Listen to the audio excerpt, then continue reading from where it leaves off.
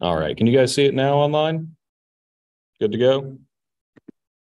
All right, so here was the only graphic that y'all missed online. Just the two different spore uh, slides at different magnifications showing the hyphae emerging and the beginning of mycelium forming.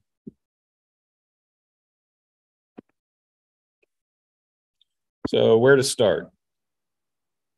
Field guides are a great place to start. Uh, we have two really good mycologists on the East Coast, Alan and Arlene Bessette. They have a lot of books um, on different types of mushrooms. So you have milk caps, wax caps, boletes. Uh, they have an ASO book, Ascomycetes. Um, they have quite a few. I think there's a lot I don't have because they're out of print, but they are very, very cool people, very intelligent, and they work with a lot of other cool mycologists to make these books and get them out there. Um, but no matter where you are in the country, there's going to be a field guide for your general area, or if not, very close. So those are good to have. Uh, as far as websites, mushroomobserver.org and iNaturalist are both great resources for not only comparing finds, but narrowing down finds by date and range. So if you find a mushroom and you want to know if it, or if you see a mushroom and want to know if it grows in your area, you can go to either of these websites, type in the name of the mushroom, and then look at the map, and it'll show you where these observations came from. And then you can also narrow it down by time of year. So it's a very, very helpful tool. And of course, there's mycology groups. There's the North American Mycological Association. We have Central Texas Mycolo Mycological here. There's the Alabama Society. Uh, Kentucky has a Bluegrass Mycological Society. There's plenty of them, and they're always doing something. All right, so defining features. The easiest way to identify a mushroom will be by their macro features or features visible to the naked eye. So let's go over some of those now. First thing that's easy to narrow down is the type of spore-bearing surface it has. So agarics, fleshy, and spore-bearing gills, what most people call mushrooms, what most people think of when they hear the word mushroom. We have chanterelles and trumpets, fleshy with spore-bearing wrinkles and or ridges. And we have boletes, fleshy with spore-bearing pores or tubes. And here's an example of an agaric.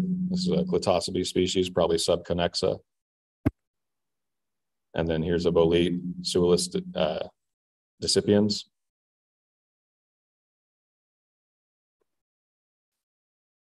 There are polypores. They're usually bracket shaped. They grow on wood.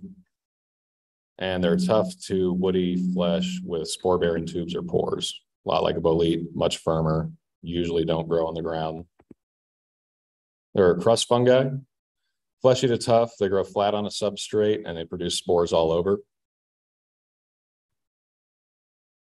And we have tooth fungi, fleshy to tough with spore bearing teeth.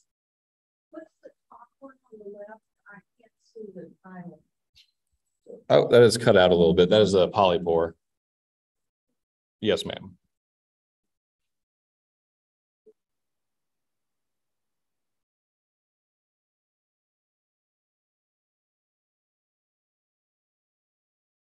And we have coral, uh, corals and clubs, fleshy to firm, and they produce spores all over. So here's another shot of that polypore in the first picture, the top left one. This is uh, Truncospora mexicana. And this is a tooth fungus, which I can't get a consensus on. And here's an earth tongue, kind of a club fungus. And so there's going to be a lot of variation between, you know, tooth fungus, club fungus, coral fungus, all that. It's just important to know kind of around about what they are. So when you find a mushroom, you definitely want to note the size and color. Uh, size is often noted, but not usually measured by beginners, but it can be very helpful, even though some descriptions of sizes uh, you need to take with a grain of salt, depending on what they are and where they were described from, because sometimes as they go out, to a different environment, they will grow a little bit bigger or a little bit smaller, just depending on what they have available. So the cap, you want to get the width of that. You want to get the length of the stem, the stem width, and the depth or length of the spore bearing surface. So how deep the gills are or pores or teeth. Those can be very useful, especially the pores. A lot of polypores are pretty difficult to identify if you don't know them very well, but cutting them in half and looking at how deep the uh, pores themselves are can be pretty useful. You want to note the cap color, note any transitions and their location. So is it going from dark to light from the edge inward or vice versa? The gill color, you want to note overall gill color, any variations. If it's splotchy, like a lot of Psathyrella, uh, they're called mottled gills and they have like splotchy coloration on there. That happens with a few other species, I think one Deconica. And in the stem, note color from top to bottom, including any features like rings, hairs, volva, reticulation, or rhizomorphs.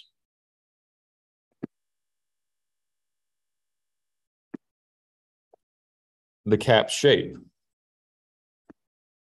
You want to note if it's applanate, so if it's plain, almost like a plate, if there's no real rounding to it. If it's conic, shaped like a cone, pointy on top, and the margin not usually flared, the margin is going to be the end, the very bottom of the cap. And they're usually taller than they are wide. Then we have convex, which is regularly rounded like an upside down bowl, usually wider than it is tall. And this is a Coprinopsis. They're kind of conical when they start off. They usually get upturned later on. And this is a Cortinarius species. They're generally convex, so they have a good bowl shape to them.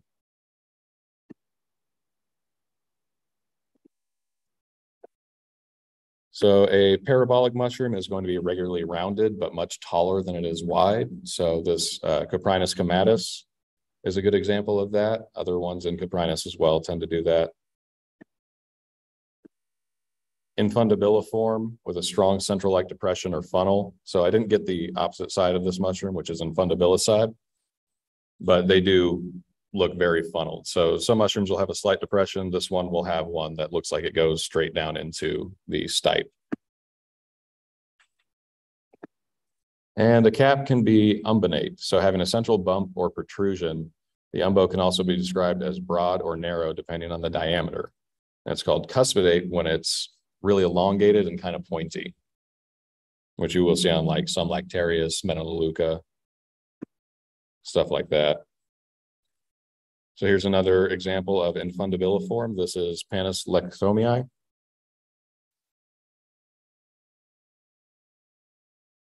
And then here's a slightly umbonate one. This is a Deconica species.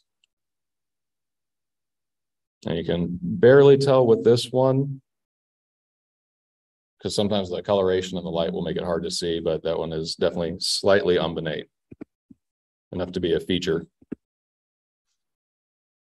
So campanulate, somewhat bell-shaped with a flared margin. The end of the cap usually becomes upturned and a rounded top, so it won't be real pointy or flat or have a depression. Like this one, which has a pretty clear central depression. This is a uh, Lentinus arcularius. Um, so they can be shallow, deep, broad, or narrow, just depending.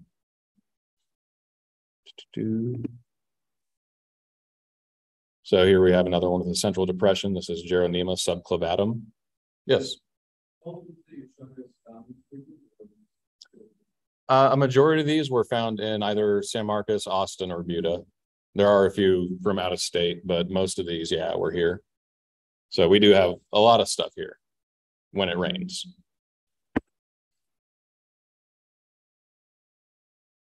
So the pileal shape, the shape of the cap, if it's ovoid, it's round or circular. So a lot of uh, Russula and Lactarius will be fairly round.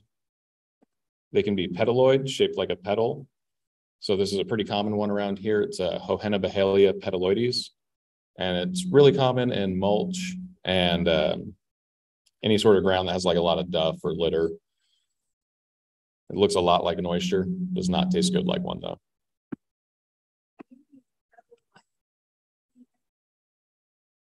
Yes, that is a typo. What was the other one? Back? and dimidiate semicircular. So here's another Hohenbuehelia petaloids.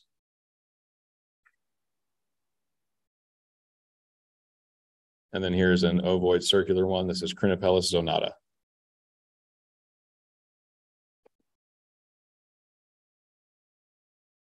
So they can be spathulate, shaped like a spatula.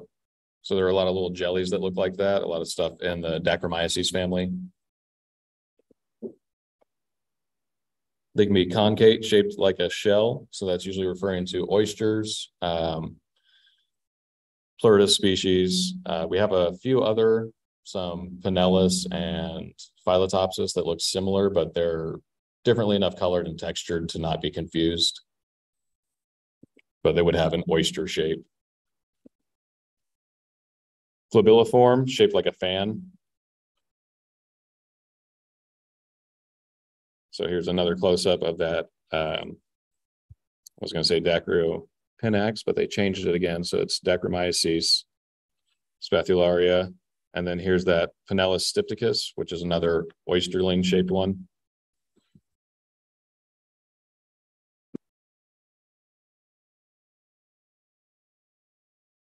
So here we have the margin shape.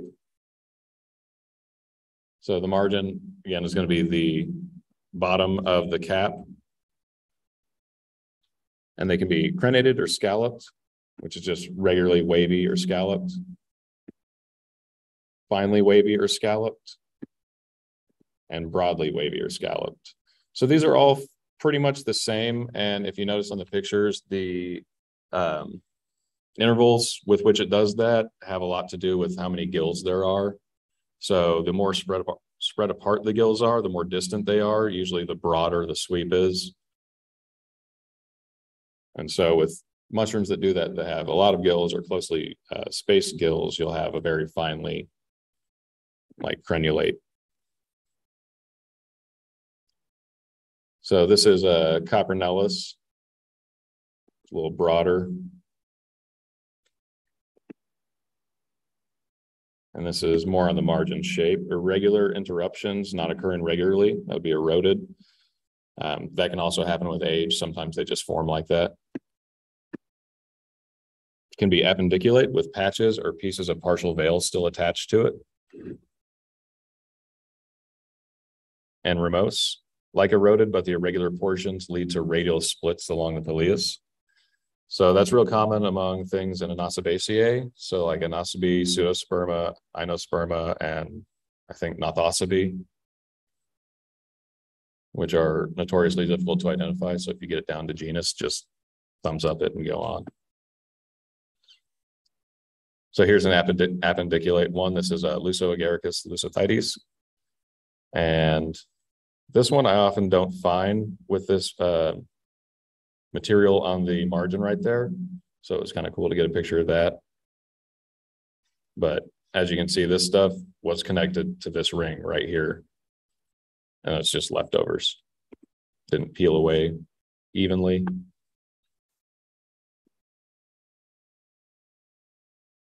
So the margin surface can be striate, which is having visible lines running radially, radially along the margin. This is pretty common with some sections of Amanita, uh, a lot of Leucocoprinus. Um, it's a fairly neat feature, adds a little bit of pop to it. Some are only like that due to the moisture content of the cap. So they'll be pellucid or translucent striate. So when they dry out, you're not going to see that, but because the moisture content of the cap, it'll be a little bit see-through or opaque and you can see where the gills are and that's creating that striation.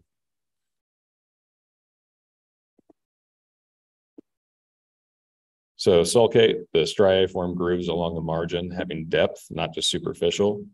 So like this one over here on the left, this is an amanita and they're visible, but you can't really feel them. Whereas this one definitely has some depth to it.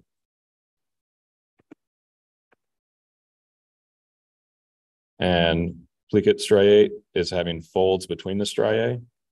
So this has one big fold and then one small one in between each one, which is more common on some um, species. So like um, Coprinus, Psathyrella, Coprinopsis, Coprinellus. Here's one, uh, Coprinellus section Disseminati.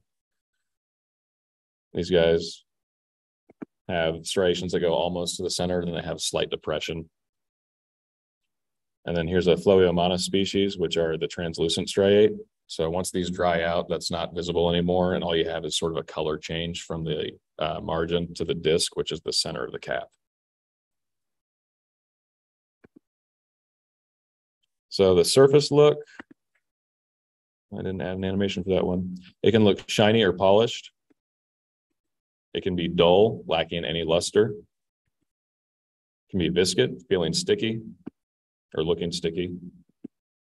And silky, which is kind of in between, usually due to hyphae creating small little hairs.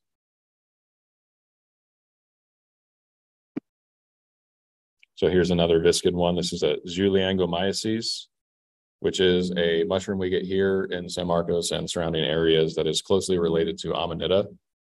Um, but it's it's a pretty interesting one. It's extremely slimy and it's very hard to pick up. Not as far as I know, but the last I looked at that one, it was in a different genus altogether. So I don't know too much about those. And then here is a Gymnopus in section Impudicae growing out of an acorn shell, and that's going to be, you know, dull, lackluster.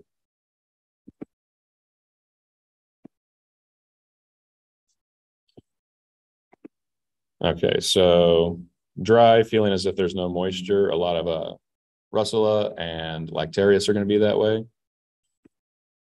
The hygrophanous, the cap and Pileus are going to dry, and the colors are going to change kind of drastically between the dry and the still moist part. So here on this one, you can see all this purple right there, and that's due to it drying out. So the more it dries out, the more that color is going to creep in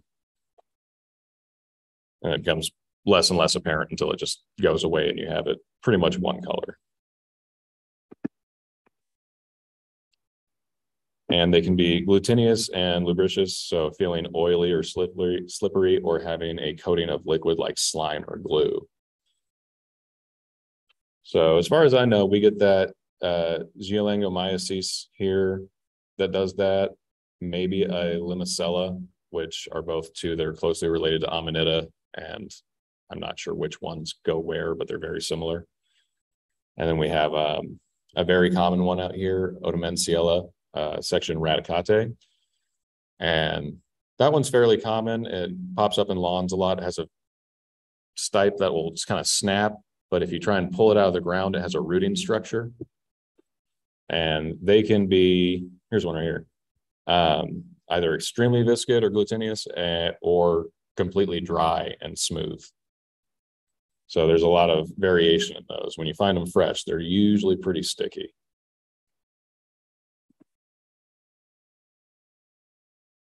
And then here's another dry one. This is a Pluteus cervinus, deer shield mushroom, pretty common around here as well.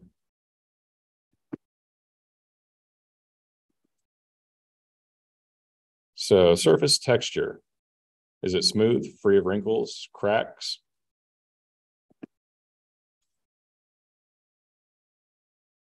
To scrobiculate, shallow pitting of the surface. So I went ahead and included this one because it can happen with some Lactarius on the cap, but it generally happens only on the stipe. So you can kind of see it a little bit right there. Not a great example, but and then alveolate, deeply scrobiculate, deeply pitted, or lacunose, lacunose, deeply pitted, scrobiculate, surrounded by ridges. So they're kind of raised little potholes instead of just divots.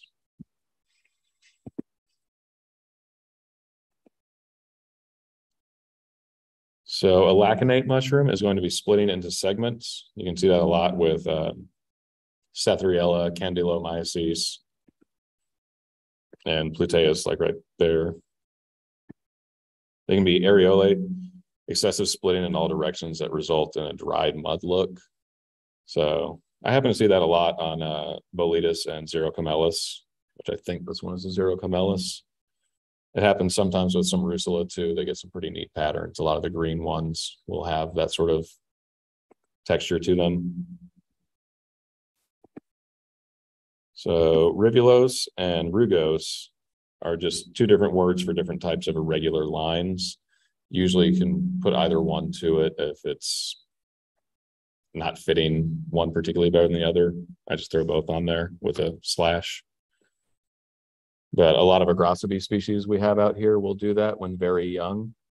And there's also one, I can't remember the name of, but it's supposed to look like that when mature. And I think all the names kind of get thrown around uh, incorrectly on that. And then Rimose splitting extending past the outer cuticle. So I think we covered that one already, but yeah, that's when it's not just the top splitting like the areolate, it's actually going into the flesh of the mushroom underneath and causing an entire split.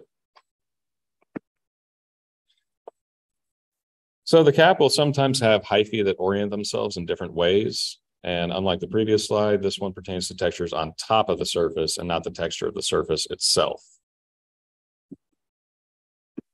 So they can have superficial, having a feature that doesn't persist with age, think warts on an amanita like this one, or innate features, having features that persist with age, like the scales on this Gymnopilus fulvosquamulosus. So these can get washed away pretty easily and it can make identifying them a little more difficult. Um, especially if you don't have much else to go on. But then with stuff like this, Gymnopilus, a lot of uh, Pholiota, stuff like that, these features will stick around and they have to take quite a beating from the rain to actually wash those off. So here's another one with some superficial scales and vellum. This is a Leucocoprinus cretaceus. And those also can be washed off very easily. Those little raised dots were the. Yes, ma'am. On this one? Yeah. So these little guys right here. And then a good feature note on this one is towards the center, they pick up a little bit of pigmentation. So they're a little brown up there, but that can all be washed off with rain. So if I were to find this one and it didn't have any of those features, I would be a little more confused and it would take me a little longer to figure out what it is.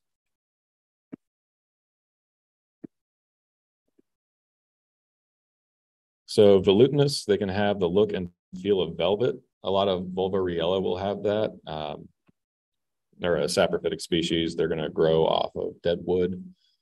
Um, some of them are edible and pretty tasty, but I really like just touching the fuzz on the top of the cap. And then I stuck pubescent with that one. Uh, it's pretty much the same, but the hairs are a little bit shorter. Glabrous, bald or smooth, like this uh, Lepista nuda, the wood blewit.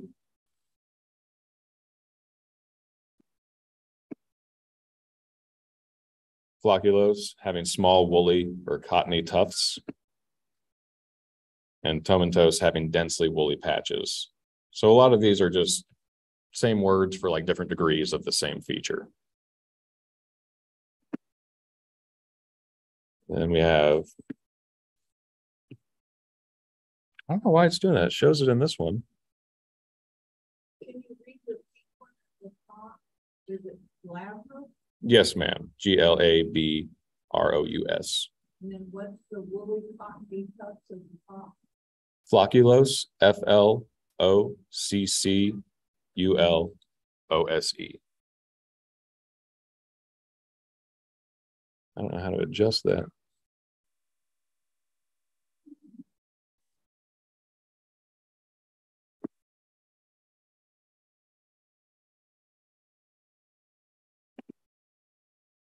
Okay.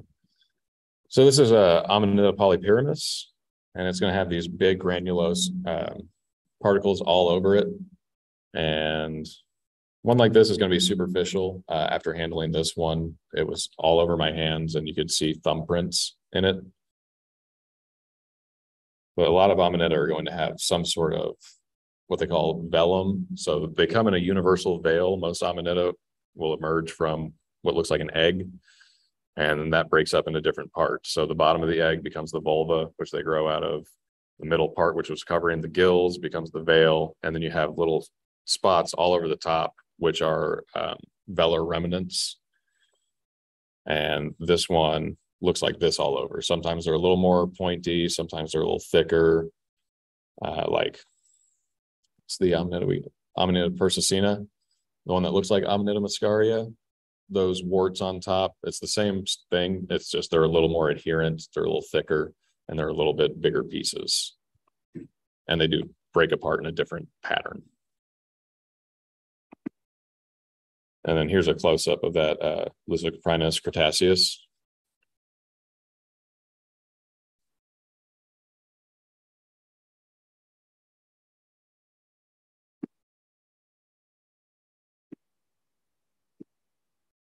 So squamose and squamulose, it's a scaly surface. It's just small or regular sized.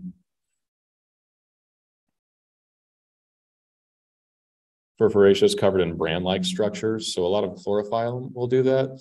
We have um, chlorophyllum hortense, molybdites, and rhacodes are all pretty common around here, or maybe subrhacodes. And they can be fibrillose, which is covered in little tiny fibers that look like hairs. And so this is probably a Clitopilus.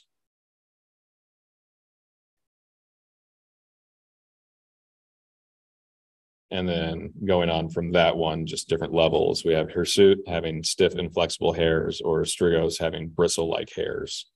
So this one's pretty common around here. It's a polypore called Hexagonia hydnoides. And I believe it's hardwood, grows on oak mainly. Um, but they're they have very persistent fruit bodies, so they will grow and then dry out and kind of just stay there for a year or more if they're not touched. Here's another furfuraceous one. This is a chlorophyllum molybdites. But you can see, just think cereal bran. So odor and taste. Pleasant and unpleasant, agreeable and disagreeable, they're kind of up to the individual person.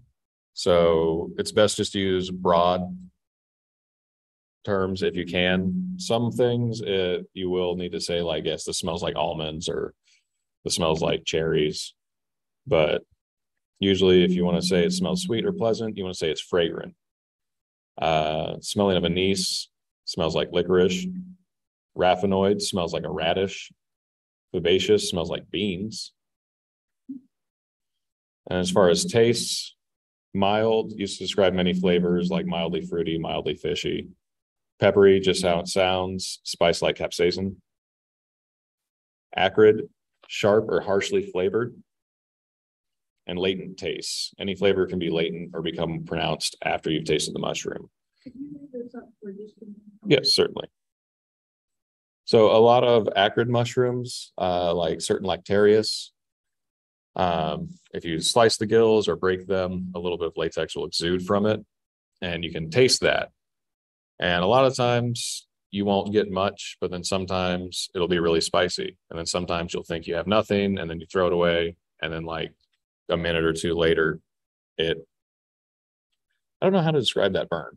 It's not spicy, spicy. It's not good spicy, but it's like a almost chemical kind of feeling.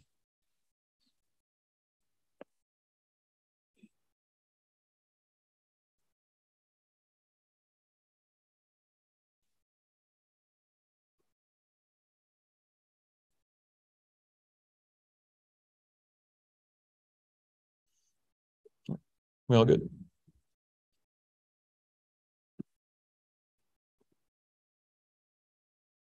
All right, and here's just some smells and genera associated with them. So photic, smelling of benzaldehyde, a chemical with bitter almond odor. Uh, Michael Kuo describes the scent as rotten maraschino cherries.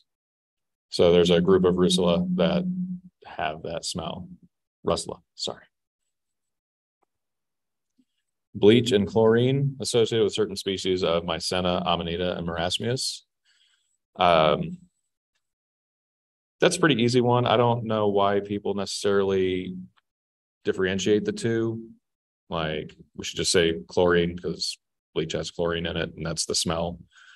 Um, but some people do use bleach instead of chlorine as the scent. Uh, anise smelling of licorice, uh, certain agaricus are going to smell like this.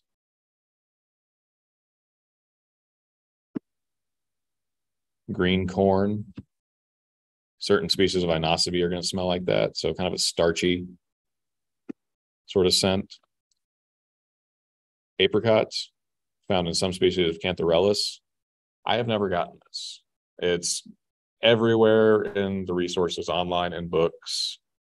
I've gotten sweet smell, but I've never smelled apricots, and I have other people who have agreed. So if you can tell that it's like kind of sweet scented, that's probably fine.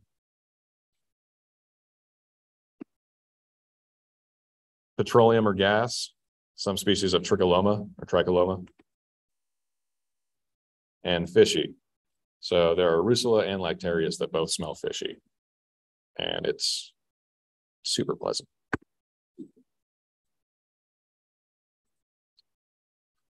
So if you do have something like a um, Lactarius or a certain Amanita, or there are a lot of mushrooms actually that will stain, you want to take note of that. So what color is it staining? Where on the fruit body is it staining? How strong is it staining? How quickly? And does it fade to a different color?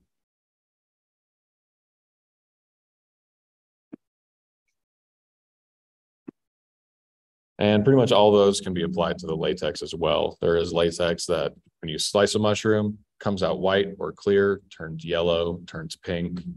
Um, the taste, like you're never going to get one that's going to make you sick just by tasting a little bit of the latex. So that's never an issue, uh, but it can be very helpful in figuring out what you have.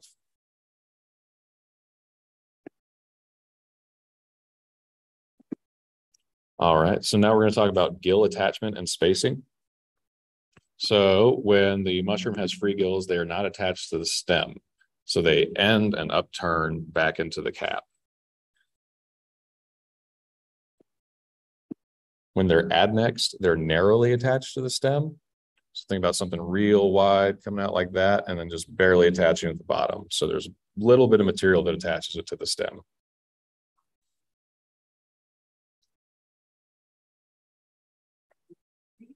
Yes, this is free. Yes, so that one's narrowly attached. So it's attaching to the base right before the base attaches to the cap. So it's a very thin amount. So on a lot of these, you will have to either cut them in half or like kind of peel them to be able to see what it is. And then sinuate is notched before attachment. So it'll have a big swoop in it before it goes back to the stem. And then adnate is attaching widely to the stem. So just think about the gills coming in at a 90 degree to the stem.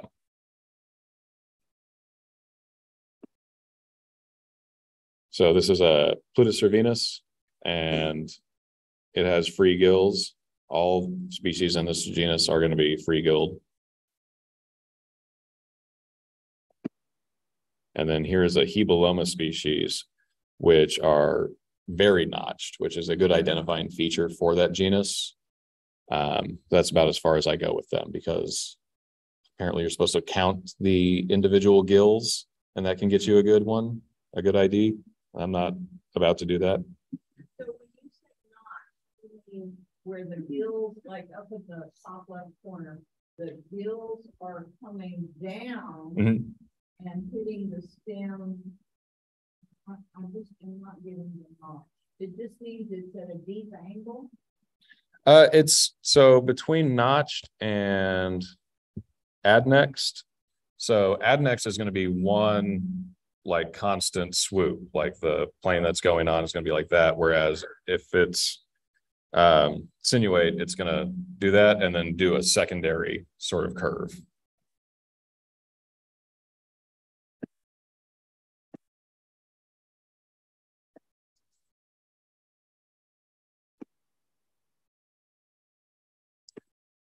Okay, so the guilds can also be seceding. Um, attached but breaking away with age. So you can see here along the actual flesh right here that these are starting to peel away and they're not fully connected.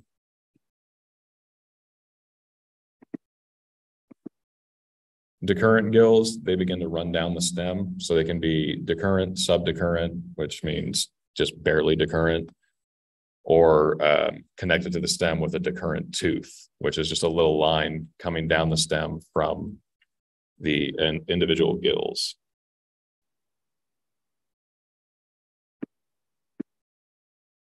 And then gill spacing, they can be distant, like this mycena, subdistant, like this mycena, close, like this Gymnopilus, or crowded, like this amanita.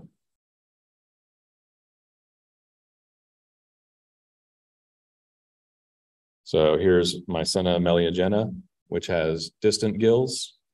A lot of the times you're going to see that on smaller mushrooms. So marasmius, marasmioides, uh, Mycena, stuff like that. They generally will have further spaced out gills just because they're smaller and they couldn't pack that many gills in there and still be able to let their spores be dispersed, catch air currents, and actually travel any amount of distance. Here's a Gerronema subclavatum, which has uh, decurrent gills. They start running down the stem.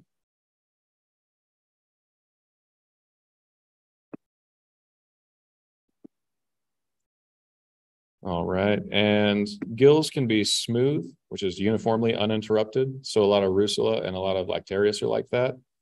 There's not, there's barely any variation between the gills from one to the other. So these all look pretty much the same.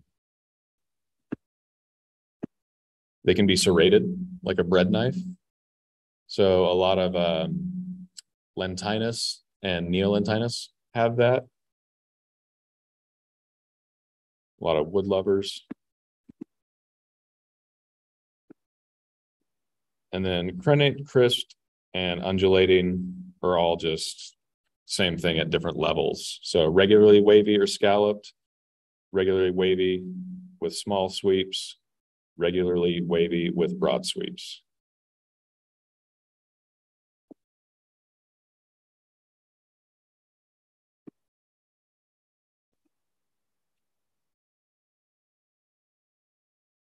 Right. And so when a gill edge is marginate, it's going to show a different color than the side of the gill. So the gill face is where all the basidia are and all the spores are being produced. So it's going to get a color change on there usually. And then so they rarely have them on the uh, gill edge, and that's when you get marginate gills. So they'll either retain the original color of the gills while the rest of it changes, or they'll just be a different color altogether. And we have erate or sorry, eroded gills, which are just irregularly wavy, possibly torn.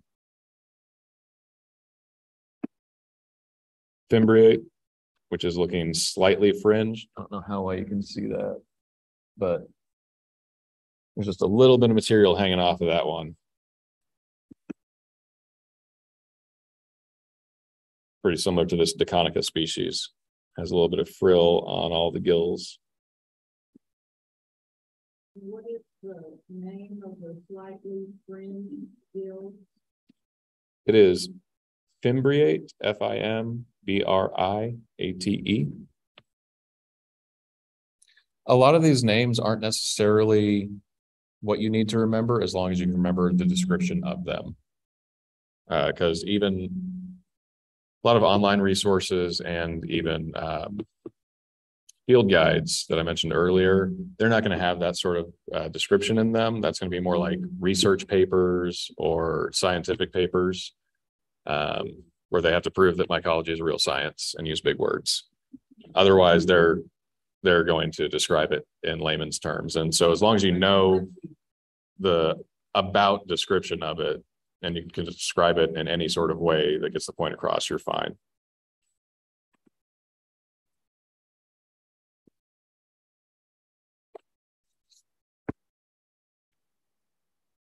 Lamellulae. Lomeluli. Not sure. Short gills, not extending the entire length from margin to apex. So you can see here this, uh, I think Xeromphalina has several rows of intermediate gills.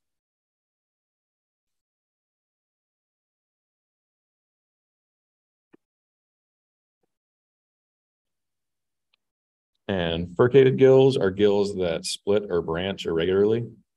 So you can see this one here splits into two, splits into two, but it doesn't do it the same throughout. And bifurcated gills that split into two only regularly or irregularly.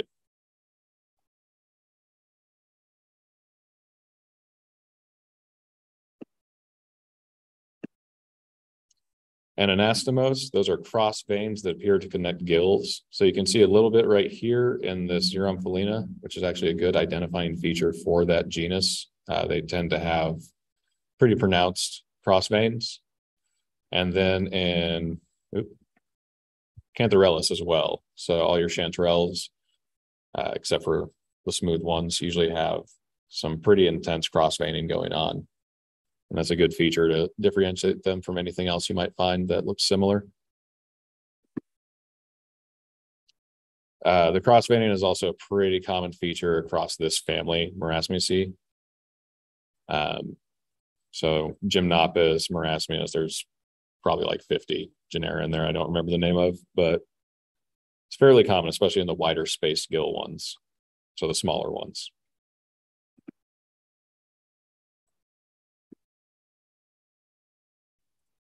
All right, mm-hmm. so stipe attachment.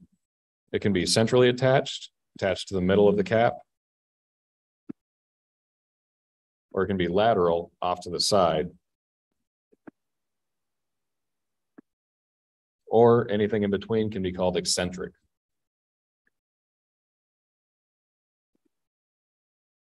So here's a Pleurotus species. When I worked at Home Depot and I stole that because it was fruiting on the shelf.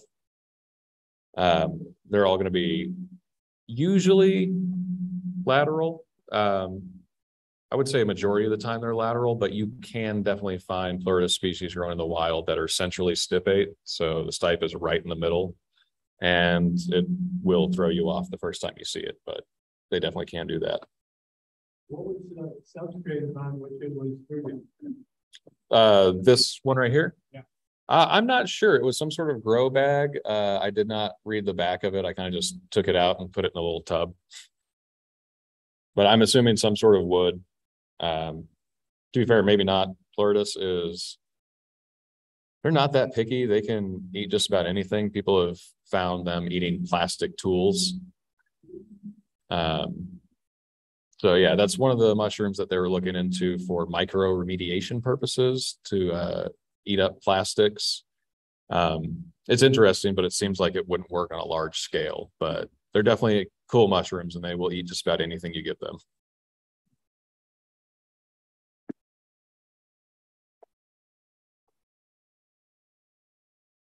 All right, so the stipe, the stem, where it connects to the substrate. If it's inserted, it's lacking any unique feature on the point of attachment. So like this Gymnopilus right here. It has basal tomentum, tomentum. I just call it uh, basal mycelium. Fuzzy hyphae at the base. So certain ones, they'll have fuzz down at the bottom. If it has a color to it, that can be a useful identifying feature. Pseudorhiza, these are root-like structures. So the Oudemansiella we get here and this is Xerula, they all go down into the ground quite a bit. I found one, I think that was about four inches long. They probably go further, but the dirt gets really compacted and it gets hard to get that thin little piece out without breaking it. And then rhizomorphs, long cord-like semi-elastic structures. So we have a species of Gymnopus out here, which is this little tiny guy, Gymnopus spongiosus, and it has bright red hairs like this all over the stem base. And it'll attach itself to just about any piece of oak in the area. So here it's got an acorn that completely enveloped and it has the uh, rhizomorphs coming off to the side that you can see. Here's another picture of Xerula hispida showing the uh, pseudorhiza, or you can just say it has a radicating stalk.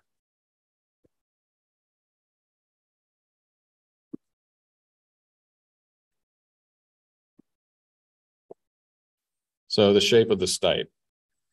Equal, equal in diameter from the base to the cap. So this one, probably slightly tapering, I would say more or less equal. It can be bulbous, having a thickened stipe only at the base and one with a distinct margin around it or delineation point or line would be called marginate, a marginate bulb. So that's going to be pretty common in species of Cortinarius we have around here. Or they just split that genus. So Cortinarius Phlegmacium, all those other things I don't remember yet. Mhm. Yes, yeah, so I think you can kind of see it on this one. It's just like a, a clear delineation from like one point to another. It's not slowly rounding out or anything. And they can be tapered, gradually thicker to one end or the either, or the other. And clavate, club shaped. So this can be really exaggerated or not so much. It's really up to you if you want to use certain terms for it. Bulbous is usually more abrupt, where clavate is a more general, um, like transition or a smoother transition. So here's a species of Melanoleuca. That one has a pretty even stipe.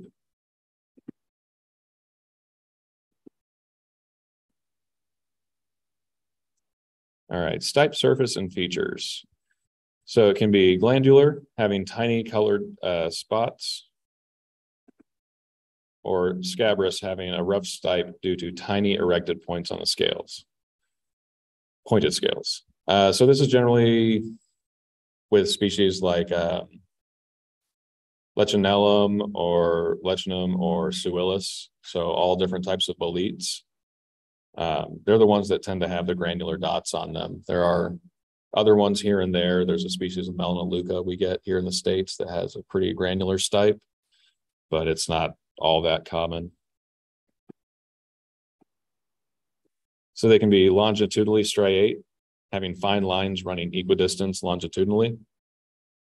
So you'll see that with a lot of Hygrocybe, gliophorus, and um, mostly entoloma.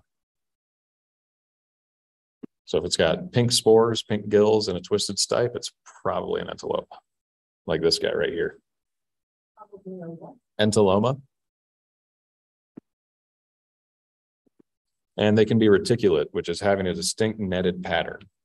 So that's pretty common on boletes. Um, and it's pretty interesting because if you look at the pattern, it is the same pattern as the pores that the bolete itself will have.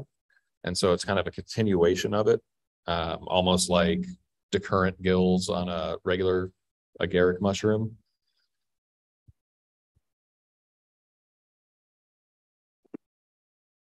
Here's a close up of that Gliophorus. On there. So the consistency of the stipe it can be cartilaginous, having a thin stipe that can cleanly break when bent. That's a lot like the Oudemansiella I was talking about, or the Xerula. Um, it usually has just a little bit of play in it, and then it just snaps pretty clean. Fibrous, having a thick stipe that does not break cleanly. Chalky, having the consistency of chalk, becoming granular when crushed. woody, corky, or leathery, having the consistency of wood, cork, or leather. It can be solid, lacking any cavities inside the stipe.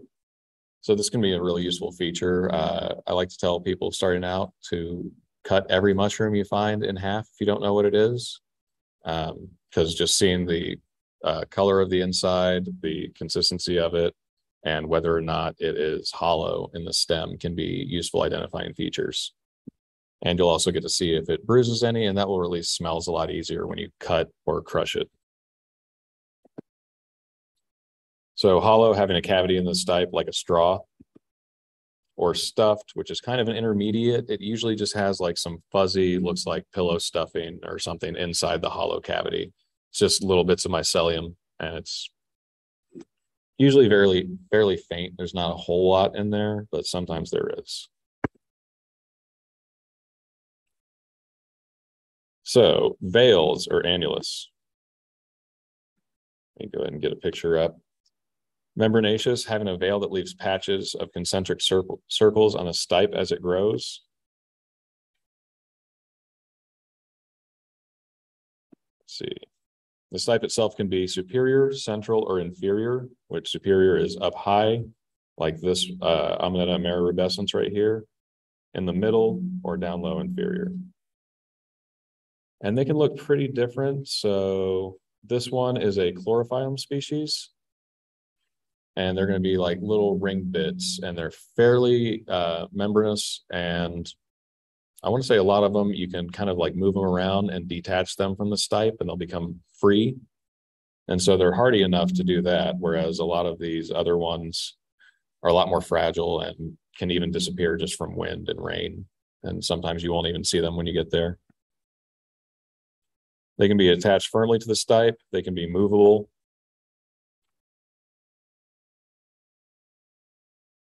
Or it can be a type of veil that you would refer to as a cortina. So it'd have like a spider web or arachnoid type veil. So that's going to be like your Gymnopilus, your cortinarius. A lot of those, it's going to have not a veil on the stipe. I'm going to say like a ring zone that's going to have a lot of that wispy sort of mycelium on there. So usually with Gymnopilus, they'll have them a little higher up and then Cortinarius, depending on which one it is, they can be anywhere from the bottom of the stipe to the top.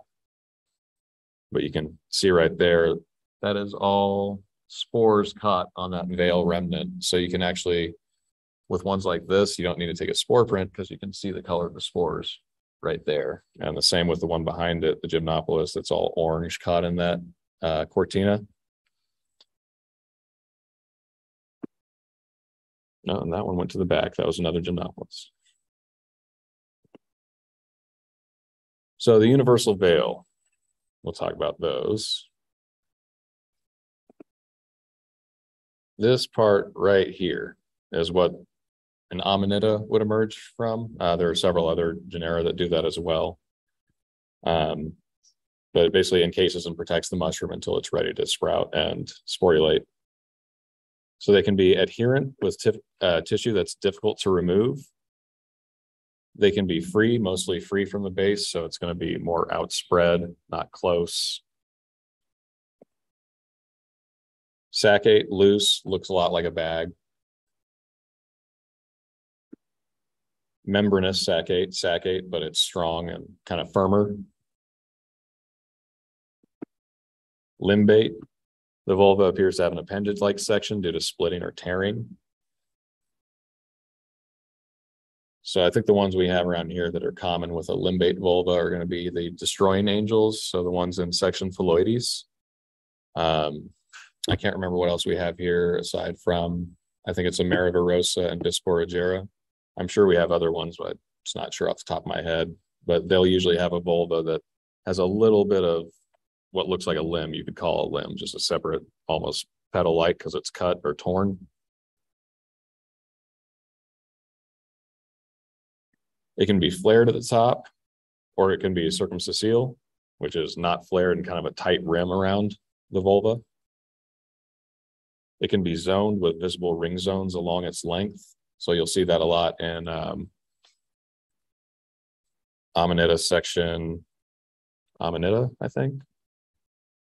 But like the uh, muscaroid we have around here, the one that looks like um, Amanita muscaria, Amanita persicina, uh, that one has three zones down by its volva, which is a great identifying feature to separate it from the other closely related ones, because it will always have at least three little zones there. And they can be scaly, similar to zone, but irregular in, in occurrence. And farinose having a powdery appearance, like that Amanita polypyramis I showed earlier. You could kind of call it that.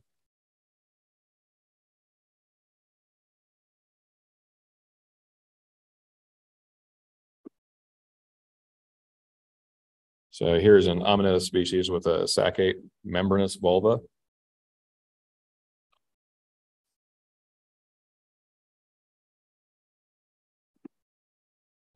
Here is a Coprinellus showing its universal veil. So it's completely covered in this fuzzy stuff right here and it's going to grow out and separate.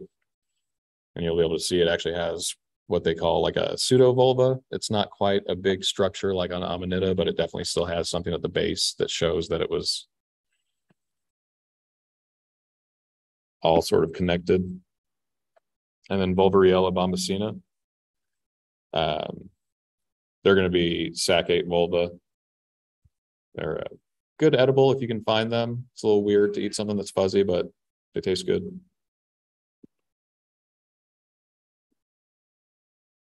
The growth, you want to note if it's growing solitarily by itself. Caespitose growing from the same mycelial mass. Gregarious grouped close together. So it's kind of hard to see on these, but this one peels apart real easily and you can see that the three, or when I did peel it apart, you could see that the three mushrooms were completely separate. There was no like weird tearing. You could see pretty definite like borders of which or each individual stipe. Whereas this one, if you pulled them apart at the bottom, it would just kind of break irregularly and you would be left with just this mass in the middle. So they're all growing from the same chunk there. They're just tightly packed here.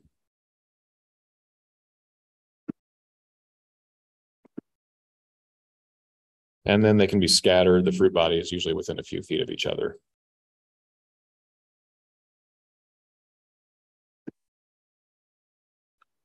So here's another clustered one. This is Marasmius coherens.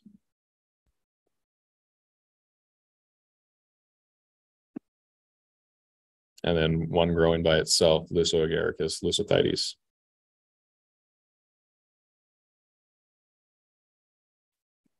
So spore color. Brown colors are usually associated with genera like Agaricus, Bolbitius, Galerina, Conocybe, Pholiota. White colors, Amanita, Omphalotus, Armillaria, some Clitocybe and Lepista, Leucopaxillus, Pleurotus. And black colors, Panaeolus, Psathyrella, Coprinus, Coprinellus, Coprinopsis, Psilocybe, Stropharia, Hypholoma. Um, so generally speaking, find a mushroom, odds are it's going to have white spores. It's just the most common that there is. Um, but on a few of these, let's see, like this, um, if you take good enough notes or have a good enough camera or the mushroom is actually showing you, you don't need to do a spore print because as you can see right here, there's a little spider web caught spores. I can see what color they are. And going back a few, I had a Melanoleuca popped up that had a bunch of white on the stipe. So if you look around enough, you can probably see what color the spores are without having to produce a print.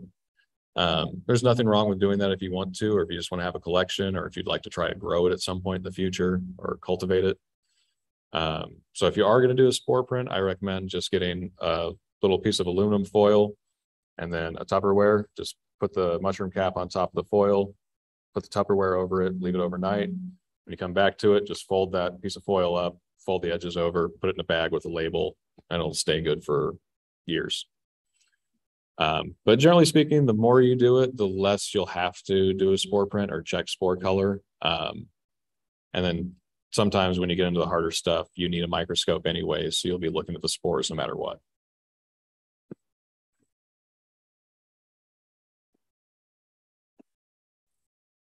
Collection and documentation. So sometimes it's necessary to take home a mushroom for further study. You want to collect the whole specimen. That means excavating the base.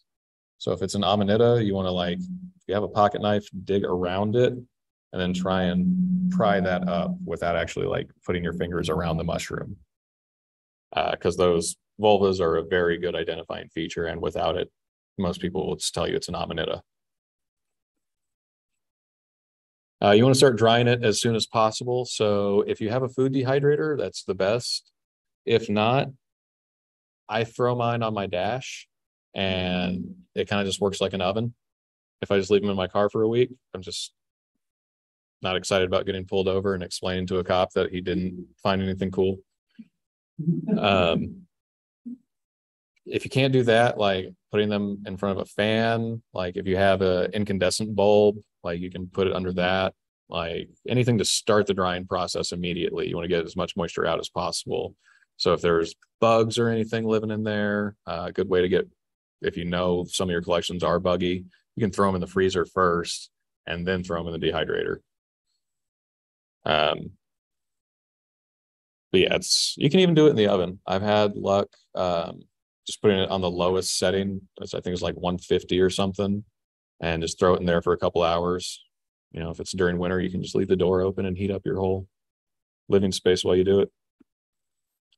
Uh, paper bags are excellent short-term storage. Um, I know people use them for long-term storage as well, but they usually throw silica packets in there to absorb any um, moisture that's coming from an outside source. Uh, otherwise, people use plastic bags. As long as they're fully dried, it's not going to be an issue.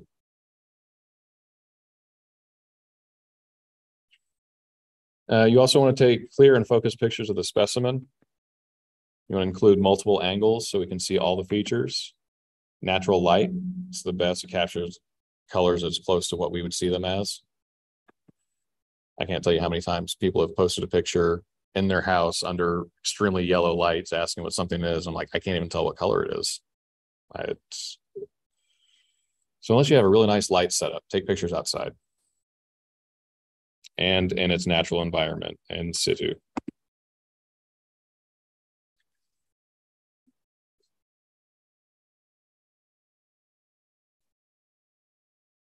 Um, I don't know any that we have on the red list here that I've encountered. Um, but if you are concerned about that, I would definitely check out the red list website. Um, but I haven't found anything here that I've learned to be endangered or even threatened. Um, and as far as like if you're worried about over collection, over foraging, whatever, it's very hard to do that. But the more you take of these things, the less it or the more it takes away from the overall environment. So like yeah. So generally they don't spread too much during one season. Like they'll be lucky to get a few inches further away from where they fruited last. Um, but when we start collecting them a whole bunch, we're taking away environments from bugs, all sorts of other stuff that we don't really know the effect of what we're doing. So while we don't need mushrooms to live, like there are insects and bugs and you know microorganisms that need these mushrooms to live. And so if you can avoid collecting anything, if it's not for learning or if, you know, there's an abundant amount of oysters or chicken of the woods or something, you know, take some, leave the rest because it affects the whole environment there a lot more than we understand. Um, but otherwise collect away. And is the red list website that you refer to one just about mushrooms? No, I believe it's going to be all, All across the board. Yes.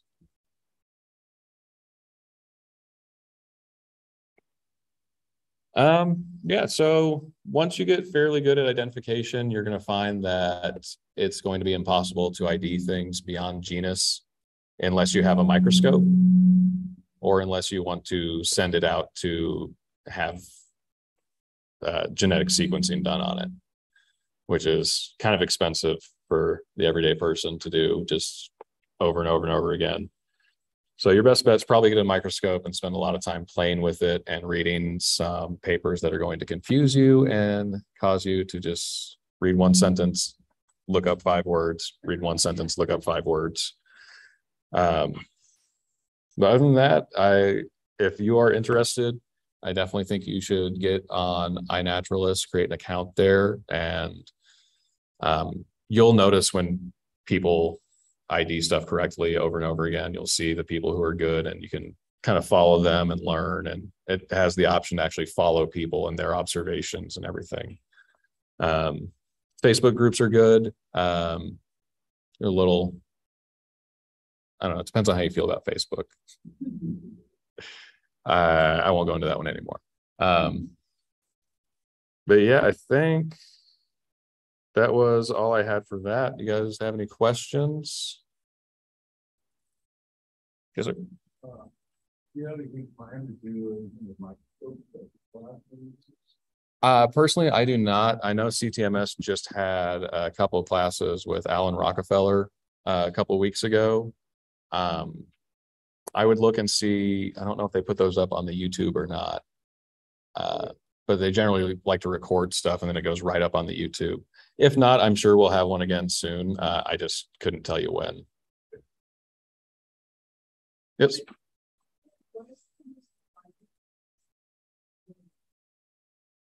uh, probably that Oudemansiella, the radicate, section radicate. Um, I hear the caps are good. I've never eaten them. But they're the ones I encounter the most around here. Chicken of the woods, uh, Laetiporus species are pretty common. We get this pale one, uh, Gilbertsonii var pallidus, I think. And that one's pretty good, pretty common. Um, and we do get chanterelles around here. Um, so that's another one to look out for.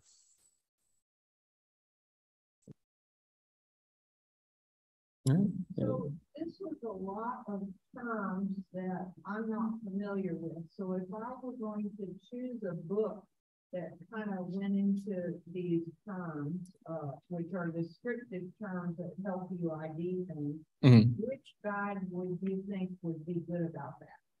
Uh,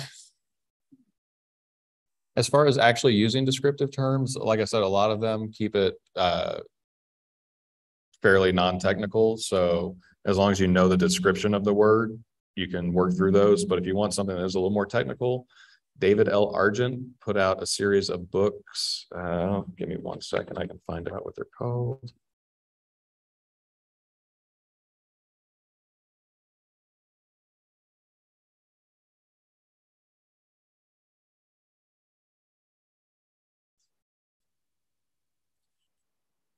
Okay, so they no longer have these in print, but they are very good books.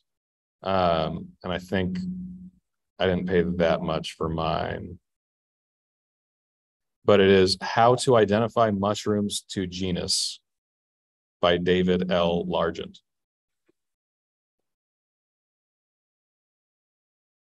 And he has, I think it's a series of, I'm not sure how many are in there, but the first four volumes, I believe, are the important ones. So the first one will have all that technical information that you're asking about. The second one has microscopic features. Uh, I believe the third one is a um, identifying to genus in the field book. Um, but they're they're very good books, and like I said, they're not in print anymore. So if you can find a PDF version online, do it. Yes. Areas in sort of the San Marcos, Buda, and the South Austin spots that you encourage us to go hunting around? Um, so I really like Purgatory in San Marcos, uh, the upper trailhead, not the lower part that's next to, um. Yes, yeah, off of Hunter there. And let's see, there's also a trail right off of Lime Kiln. That one mm-hmm. I go to just because it's close to my house, but it actually connects to, I think, four other parts of town or something. Meadow Center has a parking Area and a kiosk that sends you up that trail. That's- Okay. Spring Lake. Spring Lake Preserve. Spring Lake, okay, Invasions of Limestone, Meadows, and all the same. okay. Yeah, I knew it connected to a bunch of other spots. I just never, I, I've been finding a lot of prospects.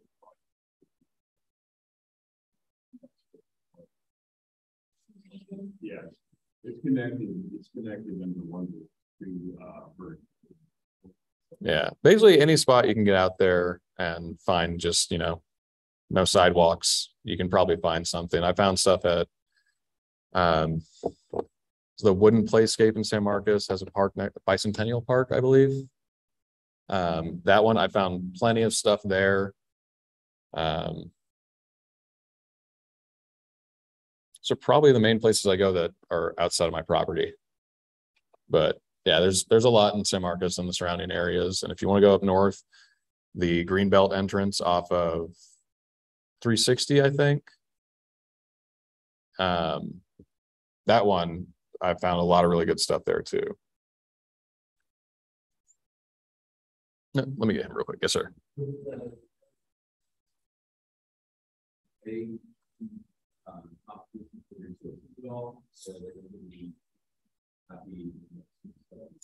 Um, well, I mean, not necessarily between other mushrooms, but between anything like uh bacteria, anything else that's growing out there. Um, even like, you know, caterpillars or anything that's gonna eat like plant matter that would be broken down eventually. But you can see competition, so like spalted wood uh has all these black lines in it, and has this weird pattern.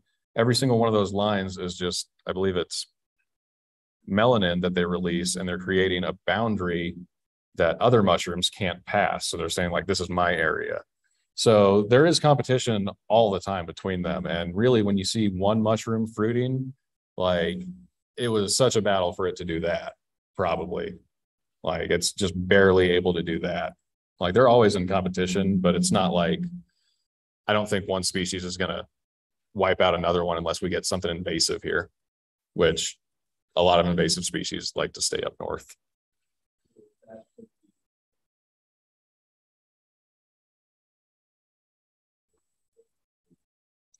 Uh, I mean, if they get to the um substrate first or the food source first, then it's, they're probably gonna have a stronghold on it and nothing else will get in there. Um, I know up north, the golden oyster is a pretty invasive species and it's doing quite a number up there. Um, but as far as down here, I don't think we have a whole lot to worry about other than other tropical or pantropical species getting over here. Um, but I don't know of any that are as prolific as say like the golden oysters up north.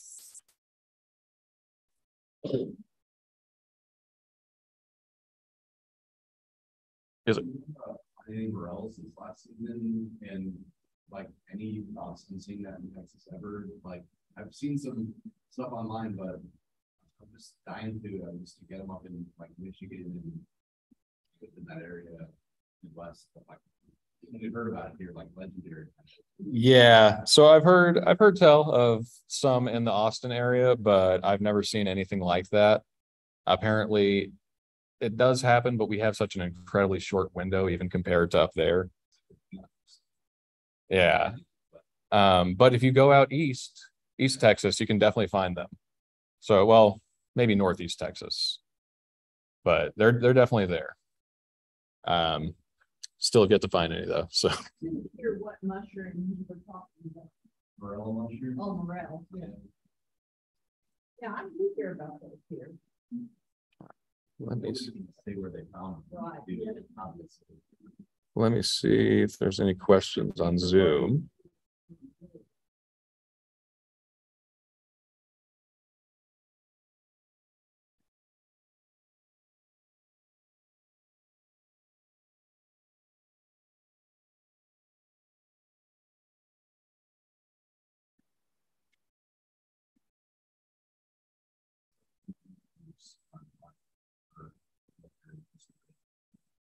Some that are like purely identification, and like they reject the other sort of information or, you know, it's just, they're on there like not interested. Mhm. And, like, other ones that's Purely interested in photography, like, anything scientific, they're like not interested in that, you know, like. Yeah. You, you need to make sure which one you're in. The photography groups are like no IDs. Yeah. And then the British Mycological Society is like, if we don't know your name, don't say anything. All right, well, I was gonna check. I can't see the chat. Let me see.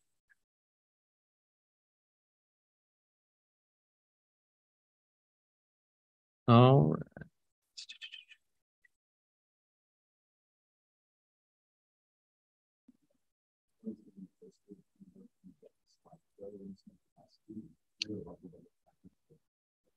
Uh, this one should be uploaded as soon as we finish this, yes. And actually. Um, and I know if you follow the Facebook page, they'll, they'll post a link up, I believe, or you have to go to their. I'm not really sure. I just do this. Um, but it will be on their YouTube page that you can search for, but unless we have any other questions. Thank you.